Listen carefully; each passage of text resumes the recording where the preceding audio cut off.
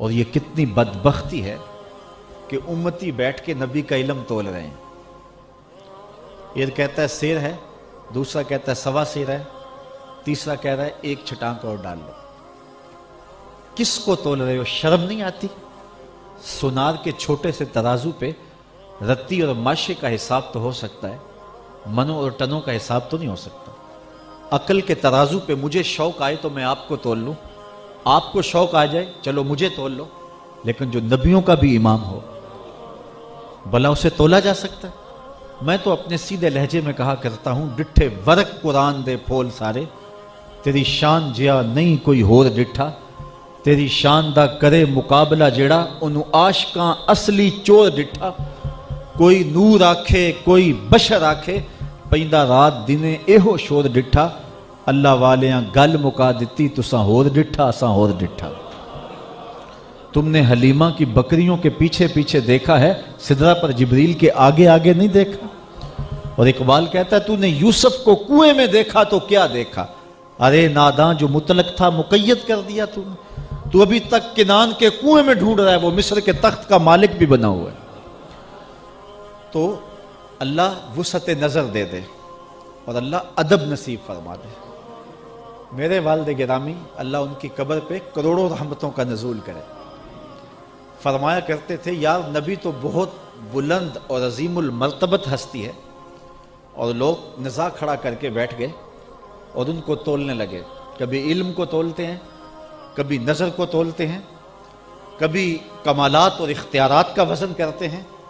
फरमाया करते थे कि नबी तो नबी रहा नबी के गुलाम की बनने वाली बीवी हूर। जब मियाँ बीवी घर में उलझते हैं तो वो जन्नत से देखती भी है, सुनती भी है और आवाज़ भी देती है का ताला किल्ला, तेरी खराबी हो, इसे क्यों तंग करती है? ये तो थोड़े दिन तेरे पास मेहमान है, ये तो मेरा शौहर है। कहाँ से देखती है? जन्नत से। और जन्नत कहाँ है? सिदरा से आगे। और वहाँ से हूर देखती है। बुज़ुर्गों के ये लफ्ज होते थे कि हूर कौन है? मेरे नबी के गुलाम की बनने वाली बीवी। तो फरमाया करते थे, नबी के गुलाम की बनने वाली बीवी की निगाहों का ये कमाल है कि वो जन्नत से देखती है, यारो मदीना तो दूर ही नहीं है। तो बदबख्ती होती है किसी शख्स की कि वो अपने अक्ल के तराजू पे नबियों को तोलने लग जाए। हमारे साथ इकबाल कहता है, जो जुल्म किया है वो ये किया है कि हमें हमसे बेगाना कर दिया यार कोई बेटा बाप को तोलने लगे और कहे कि मेरे बाप के पास ये भी नहीं, ये भी नहीं, ये भी नहीं तो मुझे बताओ कि बाप की नज़र शफकत से महरूम नहीं हो जाएगा? और उम्मती तोलने लगे नबी को तो उसके पल्ले कुछ रहेगा? आज़म चिश्ती का लहजा तो सादा है, लेकिन बड़ा दिल नशीन है। वो कहता है, यार नु मैली अख ना वेखी। नहीं तो मरसे काफिर हो गए तेरे पल्ले कुछ भी नहीं रहेगा। अगर वहाँ तेरी आँख का जो है, वो गोशा भी भटक गया तो तेरे पल्ले कुछ नहीं रहेगा। यहाँ तो सांस भी एहतियात से लिया जाता है। ये इतनी नाजुक बारगाह है। इज़्ज़त बुखारी का शेर है। इकबाल ने अपने कलाम में दर्ज किया। अदब गाहेस जेर आसमां अज अर्श नाजुक तर। नफस गुम करदा मी आयत, जुनैद बा यजीदी जा यहाँ तो जुनैद बगदादी और बा यजीद बुस्तामी आए, वो भी सांसों को रोक के आते हैं अल्लाह अकबर। वो भी सांसों का शोर, कहते हैं कहीं बेदबी ना हो जाए। एक बुज़ुर्ग थे, सारी ज़िंदगी मदीना मुनवरा की याद में तड़पते रहे कि कहीं वो दयार नूर नसीब हो जाए। हुजूर सलाम के रोज़े पे हाजिरी नसीब हो। उम्र के आखिरी हिस्से में मुकद्दर जागा और दयार हबीब की हाजिरी नसीब हुई। तलामिज़ा मुरीदीन का हल्का साथ था और कदम कदम पे आँसू टपकते हैं। अल्लाह आपको नसीब करे। जब ये आपको मालूम होता है कि मेरा वीज़ा लग गया है तो फिर आँसू नहीं थमते।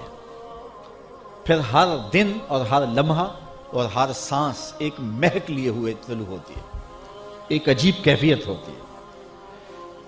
तो फिर कदम कदम पे आँसू वारफ्तगी कैफियत का जहाँ, जब हुजूर के शहर नूर में पहुँचते हैं और रोज़ा अनवर के पास जाते हैं, मवाजा शरीफ के रूबरू हाजिर होते हैं तो चंद लम्हों के लिए रुके और आगे बढ़ गए।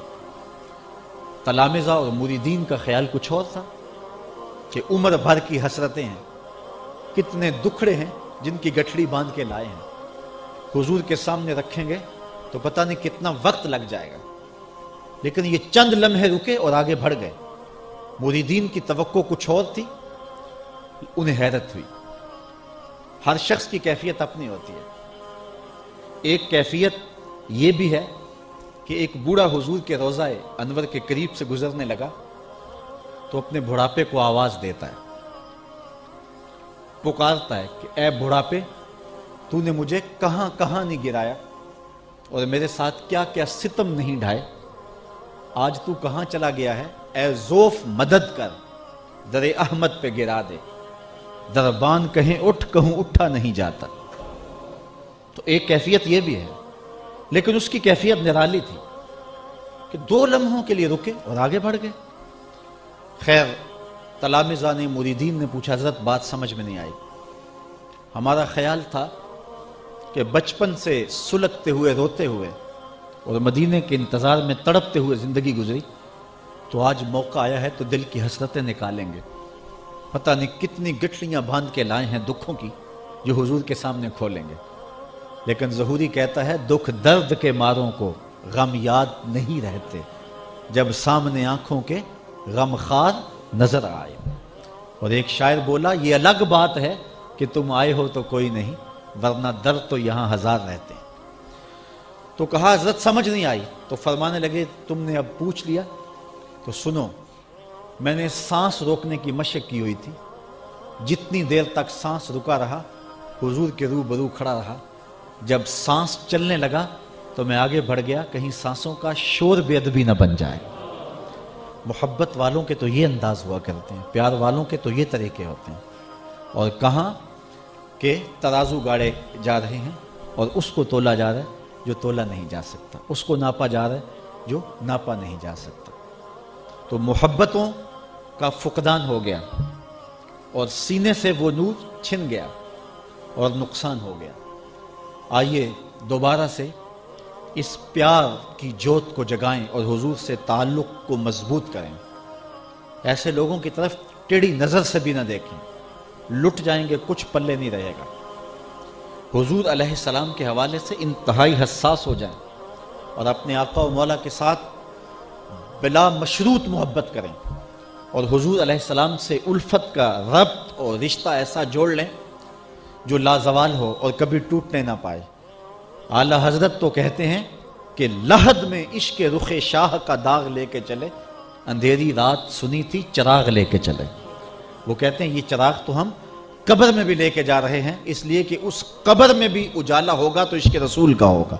दिल दे दीवे दी रुशनाई। मियाँ साहब बोले, दिल दे दीवे दी रुशनाई, जावे विच जमीना। तो इस रोशनी ने दुनिया में भी उजाले करने हैं और कब्र में भी उजाले करना है। मुझे याद आए शेख अब्दुल हक मुहदस दैलवी फरमाते हैं, जब से ये सुना है कि कब्र में हुजूर आएँगे पता नहीं मौत कहाँ मर गई है। जी चाहते हैं ज़िंदा ही कब्र में चले जाए।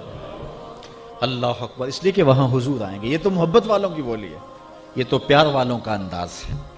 तो हुजूर सलाम की मोहब्बत, हुजूर का प्यार एक मोमिन के सीने का जेवर है। यार, ये तो वो महबूब हैं जो सिर्फ़ इंसानों के महबूब नहीं हैं, बल्कि कायनात की हर शय के महबूब महबूब दो आलम सरवर आलम सल्लल्लाहु अलैहि वसल्लम और तुम्हें प्यार की एक कहानी सुनाऊं।